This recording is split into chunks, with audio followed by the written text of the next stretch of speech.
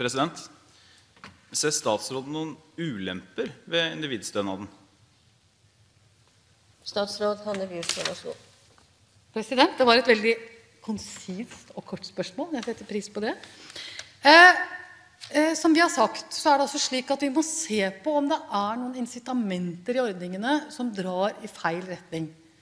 I utgangspunktet så er det å fullføre videregående skole så avgjørende for hvordan livet ditt blir, at jeg tror det er et fåtall av mennesker som forholder seg til liksom, en individstønad som trekker i retning av at man ikke fullfører.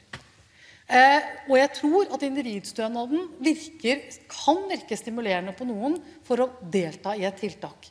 Akkurat om det er noen balanse der hvor det kan være noen mennesker som i utgangspunktet ligger så, har så få muligheter for å lykkes i forhold til en videregående skole og samfunnet ellers, at de kan tenke jeg gidder ikke å prøve, nå tar jeg heller individstønaden. At det kan være noen sånne. Det kan være.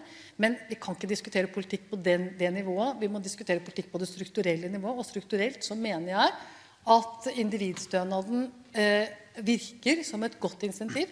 Men jeg har også sagt at jeg skal gå gjennom det, og da hadde jeg ikke sagt hvis jeg ikke hadde sett at det er behov for å se helhet.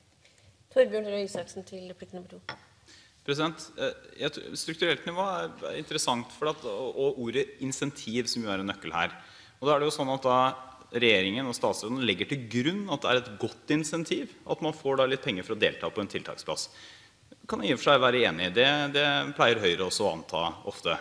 Men det er veldig rart da, altså nå kan man ikke dokumentere det på noen som helst måte, men greit nok, man kan anta at det er et eh, godt poeng. Men er det veldig rart at det ikke skal på noe som helst måte tenkes at det kan være et dårlig insentiv motsatt vei. Altså ikke, ikke fordi at noen, det er jo selvfølgelig ikke sånn, det vet statsråden, at det er på, på samme måte som det er ingen som sitter og bestemmer seg for at jeg skal bli ufør i en alder av 17. Men nivået på uføreytelsene og på de offentlige ytelsene våre påvirker også hvor mange som ender på dem. Godt dokumentert, godt empirisk belagt. Det er den tilsvarende mekanismen som eventuelt trer inn her ved individstønaden. Det jeg synes er påfallende er at eh, Statsråden han peker på insentivet den ene veien, men er ute av stand til å se insentivet som kan gå den andre veien. Statsråd Hanne. President, Jeg har nettopp uh, gitt illustrasjon på insentiver som kan gå den andre veien. Jeg sa nettopp at det kunne være personer Man kan ikke utelukke at det er personer på enkeltnivå som kan tenke fordi du er så langt unna. Jeg tror at hvis du står på en måte, Ingen velger dette. Men hvis du er så langt unna arbeidsliv og et ordinært eh, livsløp, så kan det være at du tenker jeg kan få noen penger her. Men det, i likhet med det som representant Pollestad sa, så vil man alltid kunne ha noen enkelttilfeller hvor det virker på den måten. Jeg syns ikke det er så veldig interessant. Det interessante er om man mener dette strukturelt virker på den positive måten.